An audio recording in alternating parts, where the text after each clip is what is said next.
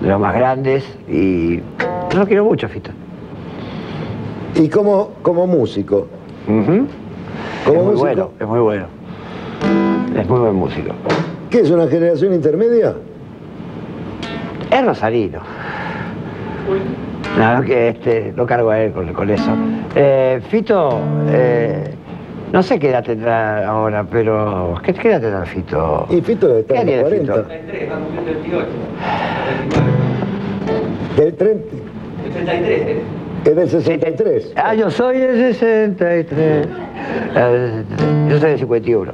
Sí, está, Sí. está llegando a los 40. Vale, Fito. Vale, Fito. Vale, Fito. Listo, sigamos. Bueno. El flaco. Y el Luis flaco, Alberto Spinetta. y el flaco es. Es mi ídolo. ¿El flaco es tu ídolo? Es uno de mis ídolos, claro. Uno de los motivos por los cuales yo también estoy haciendo esto. ¿Qué admiras del flaco Spinetta? Ah. Y la genialidad que tiene y las bolas que tuvo para llevar la cosa adelante. Para ¿Hubo que tener muchas bolas para llevar adelante lo que tuvieron ustedes? ese, en una época donde nos llevaban en cana por, por la cara, este, encima animarse a hacer un grupo como Almendra y desde vestirse como se vestían a, hacer esas maravillosas cosas y, o sea, musicalmente, ideológicamente y, argentinamente, porque creo que Flaco es uno de los que realmente inventó el chiste este del famoso rock nacional, donde hay tantos ahora. Este, Hay tantos ahora, lo decís como diciendo hay tantos que, que, que nos sirven. Eh, mira, el Flaco una vez dijo... No, no, estoy hablando ya del flaco. No, no, Ah. el Flaco no, pero el Flaco una vez, Estás no, una- no me acuerdo por qué, Una quotation. Dice, dice, y para esto me operé como, o sea, una vez no sé, que estábamos hablando de lo, lo que pasaba ahora, qué sé yo, y es como que, y para esto me operé, o sea, a veces, que, qué sé yo, sí, y para esto inventamos esto, para que ahora se haya convertido el, el- no sé, eh, pienso que, que toda la gente que ahora gana mucha guita con el fato este del rock nacional no tiene ni idea de lo que es, ni lo inventó, ni tiene nada que ver y realmente lo único que hace es sacar plata. O sea, eso no me gusta. El rock es una ideología. El rock, el rock de Spinetta, el tuyo. Y es. O sea, es. Y, y- ¿Cómo se dice? Idealista más que ideológico. Es un idealismo. Sí. Vamos a la otra foto. Andrés, Andrés Calamaro. Sí. Andrés es, es, eh, uno de, vamos a poner, discípulos como, qué sé yo, como tantos me dicen maestro, eh, es uno de, como Fito, uno de mis alumnos más aventajados. O sea, a mí me gusta mucho es Andrés. Me, me parece un compositor muy bueno. Las peleas y todo eso, esa mirada, ¿no? No, no, te, Eh, no, sorprende. eh, o sea, me parece que Me Andrés... sorprende porque es, es honestidad intelectual de tu parte. Es- Todos, ac- yo sentí cuando apareció la foto de Andrés ahí atrás, hay mucha gente. Hubo un, uy, la que se viene. Y Andrés es, un loco, igual que yo. Y, y es un, súper buen compositor, súper buen compositor. Y es un gran amigo. ¿Los defraudó Charlie García? No Andrés. Vamos a la siguiente. Fabi. Fabiana Cantilo. Es comadre nuestra. Comadre. Y sí, porque también creo que la eligió el delincuente este, también la... Vení, vení, vení, vení. Tu La protegida. sangre me llama, Gerardo. En cuanto a lo de delincuente, lo digo no de, de creyendo de honestidad, sino delincuente intelectual. Me, gustó. creo que es una calificación que te corresponde. Muy bien, fonéticamente es agradable además. ¿Qué, qué dicen de nuestra También, comadre? es, también es madrina, ¿no? Es verdad, es el ala femenina de- del El ala de, los niños. Y su comadre es Paulina Caradagian. ¿Eh? La cortita. Listo. Gracias. Si me llevo otro quesito, ¿Querés sí. otro quesito? Ya. Sí, no, me, me recagaron Keep una the cheese, keep the cheese. Entonces, de Fabiana, Fabiana es un invento mío. ¿y estás orgulloso del invento? Sí. Ella también. Antes dijiste que te dicen, eh, hay muchos que te dicen maestro, Sí, muchos. ¿no te hace sentir más jovato? No, pero yo les digo que vocación de maestro no tengo mucha, pero dice, pero me dice, y yo aprendí tanto de vos, digo, serás inteligente. Vamos a la siguiente foto. ¿Sabes quién es? ¿Quién es? Iván Noble. ¿Es actor? Ah, no, ya sé quién es, sí, es un cantante. Un pibe, sí. rockero. Sí, no lo escuché nunca. ¿No te interesaría escucharlo? Para ver la cara que tiene. Uy. No sé, ¿a vos te gusta? ¿Te contesté? Bueno, no sé, pero la verdad que... Pasamos. eh, buen pibe me parece igual, ¿eh? Ahí está el próximo. Uh, ¿Qué significa ese uh ante Sandro? que es tremendo ese tipo. Este es tremendo. Realmente, este... ¿Qué te puedo decir, Santo? Que es un, un capo y... Canté una vez con él, hicimos un, un tema juntos, me invitó a cantar en el provincial, en el Hermitage, En el Hermitage. y cantamos un rock and roll. Es un, un rockero de, de- de la vieja guardia, que después este, empezó a cantar otro tipo de música que mucho no me gusta, en realidad no me gusta nada, pero a él se le disculpa todo. Pero igual es, bueno lo que hace, o sea, incluso en la música así comercial, ¿no? Pero se canta todo y es un grande, es un grande. Tiene que ser un de rock and roll, ¿eh? me lo debe. Y si nos está, capaz que nos está viendo Roberto, le mando un abrazo. Aguante. Roberto. ¿Vamos a hacer el disco ese? Ajustate el cinturón de seguridad. A ver la que viene. Mi gurú.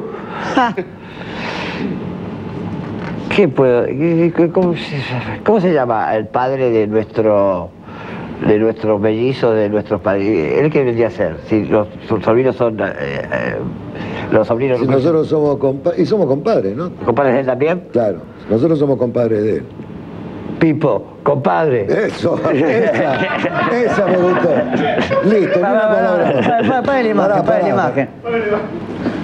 Señor director, no, en esa cara no me la paren. Hola, compadres. ¿Qué tal? ¿Qué ¿Qué está tal? pasando? Me gustan las declaraciones, ¿eh? Me están llevando muy bien. Nunca me convidaron un vino. Gracias. Vamos a la siguiente cara.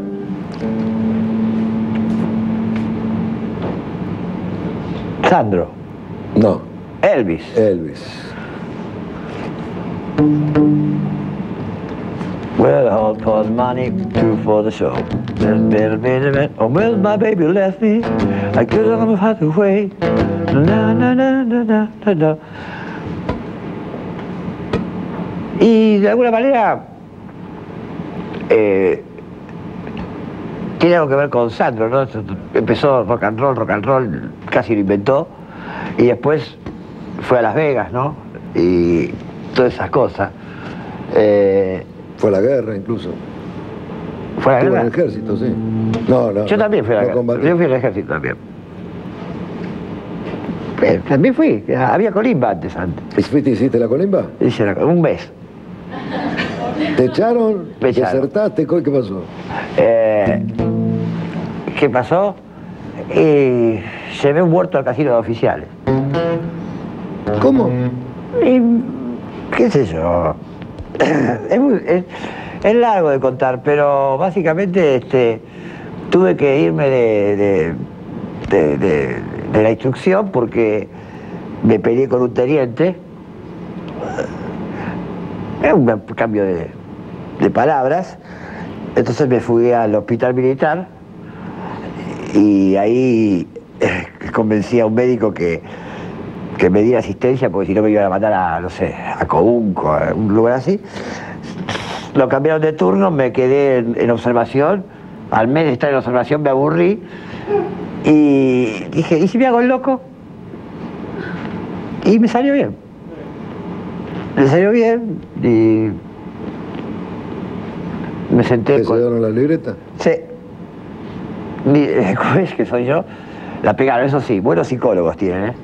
¿Qué te, qué te pusieron en la causales? Neura- neurótico histérico, personalidad esquizoide. ¿Alguna vez te analizaste? Sí. ¿Seguís? No, no, no, ya están presos los que me analizaban. ¿Presos o internados? Y ya están internados, estaban internados desde... No, eh, tuve una buena experiencia con el doctor Isaac Lerner, que me ayudó a separarme de Lito Mestre.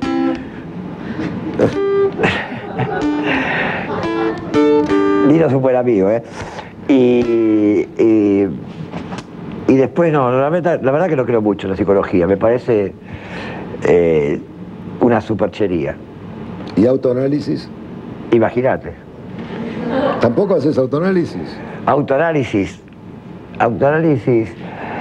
eh, no sé, pero el autoanálisis tiene mucho que ver con, con- con señoras que van al- a los teatros a ver a tipos que escriben libros de autoanálisis y que, qué sé yo, me parece medio chanta, pero bueno. No, bueno, eh, eh, no te olvides que el autoanálisis es algo que practica uno mismo hacia sí mismo. De manera Y que por eso. Sos chanta con vos mismo o te- de, pronto... te- yo te digo porque yo ejerzo el, el autoanálisis y lo hago... Sí, no, yo digo, el- Lo hago el- el- qué sé yo, no creo mucho en, en los gurúes del autoanálisis, digamos. Ah, no. Eh, pero... Si los tipos que te enseñan a autoanalizarte, yo tampoco creo. Creo que es un chanterío. No, no, yo creo más en, en- en- por ejemplo, el, el tipo este Ken, que, que hacen su, su asunto de, de, de frases que otros dijeron y qué sé yo. Creo que eso, eso es más piola que tener como una especie de dogma. Eso es- no, no viene muy bien. Ah. Dejamos a Elvis y seguimos al siguiente. Lo nombramos hace un ratito. Vicky. ¿Qué puedo decir de este? Es tremendo este. Es tremendo. Este tipo es tremendo. ¿Es lo conocí, lo conocí a él. ¿Es lo más? Es Mick Jagger, loco. O sea, sí, es lo más. O sea, es lo más y... eh, qué sé yo, es, es- los Beatles, los Rolling Stones, medio cambiaron el mundo. Es un tipo impresionante, un súper artista y tiene una polenta increíble. Sí, alguien que nombramos. Ya me imagino que, Wow. que lo vas a, a ¿Y este papá? ¿Eh? ¿Papá? De alguna manera, de acuerdo a lo que contaste, lo que más o menos adivinamos, le quisiste meter los cuernos post-mortem. Ah, ah, sí. Hay cuernos post-mortem, ¿no? ¿Hay cuernos por muerte? Y bueno, es Valen doble. Eh, valen doble. No, eh, este tipo es increíble. Eh, ¿Qué le puedo decir de este tipo? Es lo más, es lo más. Seguimos. ¿Sabes quién es? Jenny Joplin. ¿Esta quién es? Se llama Shakira. Ah, Shakira, baby. Twist and shout. Linda piba. No, la verdad que no la escuché mucho. Mucho no. la ¿Algo la escuchaste? Sí, la escuché mucho. Algo la escuché. Y. no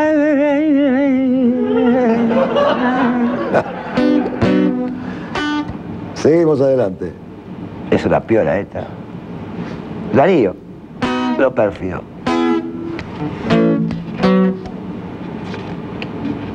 A ver qué dice. No, no dice nada.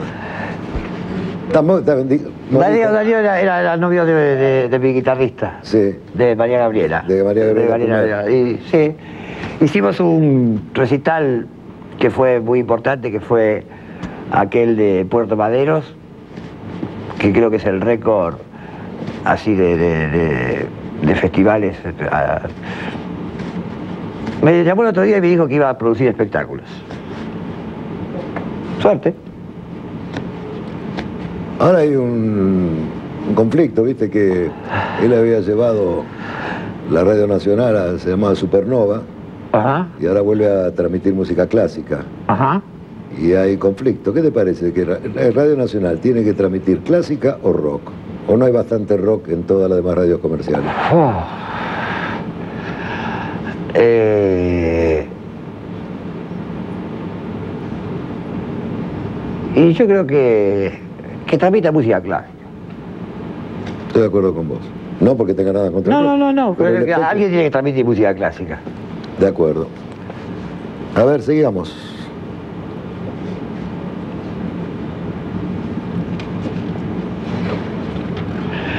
Eh, qué cara de loco que tiene. Capaz que no está favorecido. No está favorecido. Y hizo algo importante, ¿no? Estuvo, fue el primer presidente, ¿no? Después de todo aquel caos y qué sé yo. Terminó mal, pero más. No sé, la verdad que no, no, no. ¿Lo votarías? ¿A este? No, ahora no. Ahora no.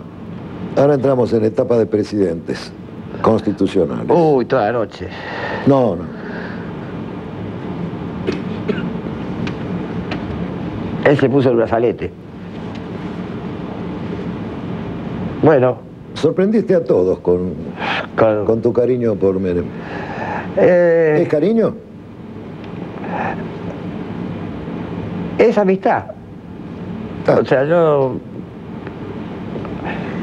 eh, lo considero un tipo muy valiente porque se animó a, a escuchar lo que yo le dije, lo que tenía que decirle. Un súper anfitrión, lo recibió en, en su casa con el brazalete así y todo, todo el mundo con el brazalete. Eh, y después es, es muy atento, me, me llama para mis cumpleaños.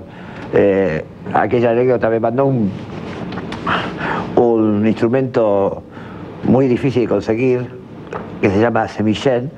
Me llamó desde la China, ¿no? Y me dice que, que quería hacerme un regalo y que quería yo, ¿no? De regalo. Entonces le digo, bueno, tráeme el semillén y un uniforme de geisha. Para las festividades, esas cosas. Me llama el otro día y me dice, el instrumento lo conseguí, pero estoy en China, no en Japón. y me mandó el instrumento y grabé con él y todo. sí, el, el régimen chino no debe estar muy afecto a la guerra. Seguimos adelante.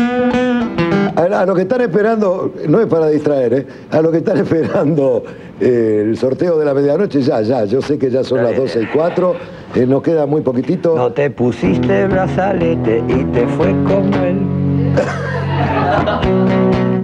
tipo muy raro este, muy raro. Muy raro, muy raro. Muy raro. ¿Tuviste contacto con él? Sí, pero no se nota, uno le da la mano y no. Tuviste contacto, pero no se notó. No se nota, no se nota, él, él no se nota. No se nota y no se notó y. y no. La verdad que.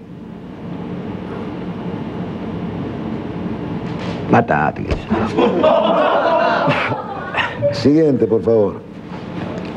¿Y te quiere? Rodríguez Sá. Fue presidente constitucional argentino por cinco días. ¿Te ¿Tanto enteraste? duró? ¿Te enteraste? Ah, sí. Me dijeron, me dijeron, sí. Un gran administrador en su provincia, ¿eh?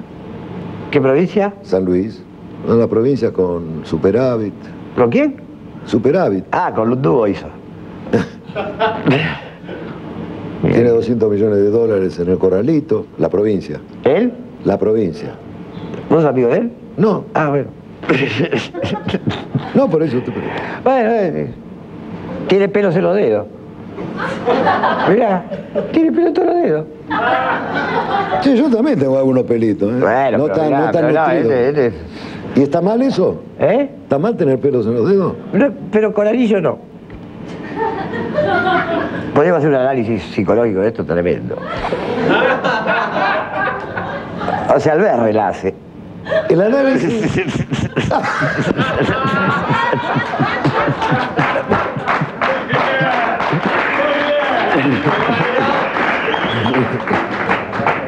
Ay, ¿Tengo algo más? A ver. Ah, sí, claro. Del actual presidente.